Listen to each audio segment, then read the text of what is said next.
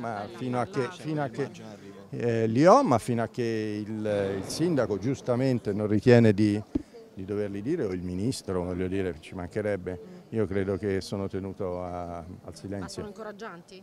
Per Firenze, per il maggio? Guardi, sono, sono misure che riguardano tutte le fondazioni liriche, quindi ehm, sì, sono incoraggianti anche per il maggio, certo. Guardi, il pareggio di bilancio è già stato raggiunto, quindi mi meraviglio che ancora si continui a parlare di pareggio di bilancio. Il pareggio di bilancio è stato raggiunto.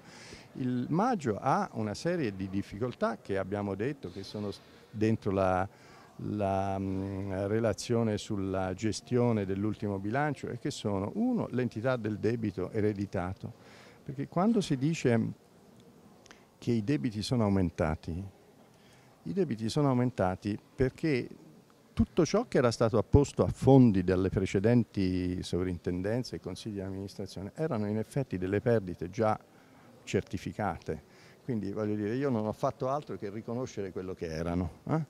Ehm, secondo, quindi l'entità del debito che è comune a tutte le fondazioni, chi più, chi meno naturalmente, chi più, chi meno naturalmente, ma comune a tutte le fondazioni. E l'altro è un problema di mh, eh, tensione finanziaria eh, se io le entrate monetarie, le uscite monetarie le ho spalmate più o meno regolarmente durante tutto l'anno, ma le entrate ce l'ho solo alla fine dell'anno o addirittura l'anno successivo, ricordo che un terzo del contributo della Regione 2015 non lo abbiamo ancora ricevuto, 1.230.000 euro giù di là, eh, mi dovete dire com'è che posso evitare la tensione finanziaria? È come una famiglia normale. Se lei spende tutto l'anno regolarmente perché ha la sua famiglia e ha le sue uscite monetarie, ma i, le entrate monetarie ce l'ha alla fine dell'anno o addirittura l'anno dopo e non si può indebitare, c'ha, c'ha tensione finanziaria? Penso di sì, no?